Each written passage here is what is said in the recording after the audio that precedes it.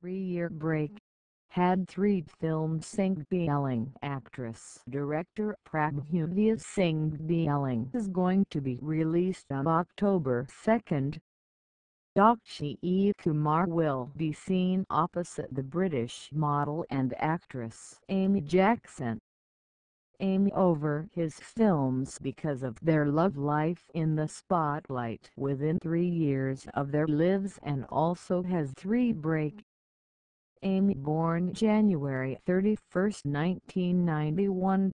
The Isle of Man is home to the Jackson Alan Jackson and Imbragaretta. Amy Street Edwards College and later studied English literature at Sixth Form Studies. She Miss Teen World in 2008 and in 2009 won the title of Miss Liverpool.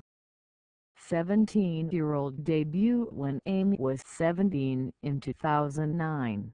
The Indian film producers looked at her modeling agency website and invited to audition for a film, which is selecting his first Tamil film Madrasapattinam found, for which years won several awards in 2010 for Best Debut Actress. Then in 2012, he director Gautham Menon's film was a crazy his Bollywood debut. Controversy Ill Love Life in 2012 Amy's film was a crazy with co-star and began dating Bollywood actor Prateek Babbar, after which the band Mumbai started living together in an apartment. However, this relationship was not much and the two soon fell out. In 2013, Amy boxer Joe Selkirk began dating Joe's angry behavior, but they broke up because of Amy.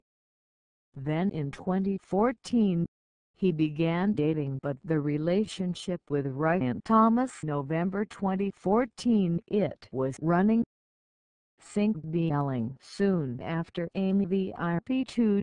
Gethu and Victory will be seen in Tamil films like 59,